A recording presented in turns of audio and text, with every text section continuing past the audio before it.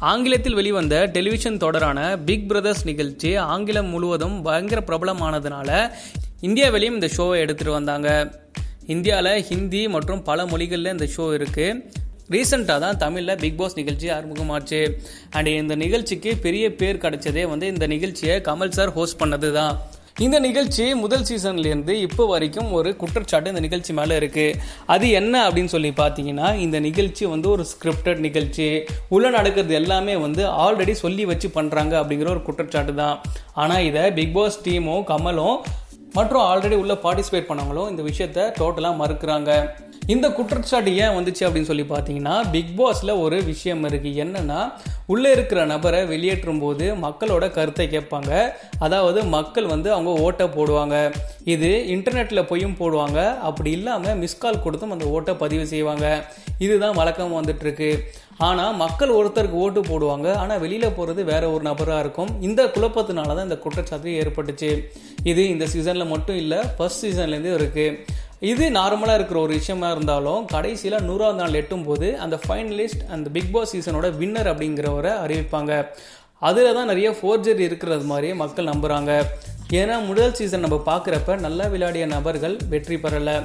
ஆரவ் அப்படிங்கிறவர் தான் வெற்றி பெற்றார். இவர் அறிமுகமானப்ப இதுதான் அவருக்கு முதல் பிளாட்ஃபார்ம் அண்ட் உள்ள மருத்துவ மூத்தம்லாம் கொடுத்து பெரிய சர்ச்சையிலையும் சிக்கினார். இவரால் ஓவியாவும் வந்து வீட்டை விட்டு வெளியில் போனாங்க.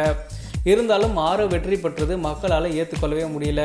இது கண்டிப்பாக ஸ்கிரிப்டடாக தான் இருக்கும்னு மக்கள் ரொம்பவே நம்பினாங்க அந்த டைமில் அதுக்கப்புறமா பிக் பாஸ் சீசன் டூ வந்துச்சு. இந்த நிகழ்ச்சியிலையும் வந்து ஆரம்பத்திலேருந்து எண்டு வரைக்கும் ஒன்றுமே பண்ணாத ரித்விகா தான் டைட்டில் வின்னர் ஆனாங்க. இது மக்களுக்கு ஒரு பெரிய ஷாக்கை கொடுத்துச்சு. என்னடா நம்ம ஓட்டு போட்டவங்க வின் பண்ணாமல் வேற ஒருத்தவங்க வின் பண்ணுறாங்க அப்படிங்கிற அதிர்ச்சியில் மக்கள் ஆழ்ந்தாங்க. அண்ட் ஒன் மோர் திங் என்னென்னா பிக் பாஸ் சீசன் டூவில் ரித்விகா வெற்றி பெற்றதுக்கு முக்கியமான காரணம் என்ன சொல்லப்படுதுன்னா நான் ஒரு தமிழ் பெண் அப்படின்னு சொல்லிட்டு அவங்க அந்த அடையாளத்தை காட்டினது தான் அந்த அடையாளத்தை காட்டி வெற்றி பெற்றுட்டாங்க அப்படிங்கிற ஒரு குற்றச்சாட்டும் இருக்குது ஆனால் நம்ம மக்கள் என்ன தான் எத்தனை வாட்டி ஏமாத்தினாலும் திருப்பியும் திருப்பியும் இந்த பிக் பாஸை பார்த்துக்கிட்டே தான் இருக்காங்க. பிக் பாஸ் சீசன் த்ரீ நிகழ்ச்சியும் அப்படிதாங்க.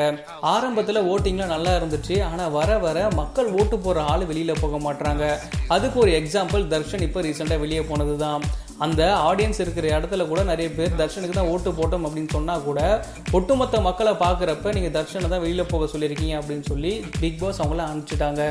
இதுதான் நடந்துட்டு வருது. இப்போ ஒரு திடுக்கிடும் தகவல் வெளியே இருக்குது அது என்னென்னா பிக் பாஸ்லேயும் வந்து கிரிக்கெட் மேட்ச்சில் பண்ணுற மாதிரி மேட்ச் ஃபிக்ஸிங் பண்ணுறாங்களாம் இந்த வருஷம் சீசன் பிக் பாஸ் த்ரீல முகேன் தான் வெற்றியாளராக அறிவிக்கப்படுவாராம். ஏன்னா மலேசியாலேருந்து நிறைய சப்போர்ட் பண்ணி முகேனை வின் பண்ண வச்சிட்டு இருக்காங்களாம் இது எந்த அளவுக்கு உண்மையான தகவல் அப்படின்னு நம்மளுக்கு தெரியல.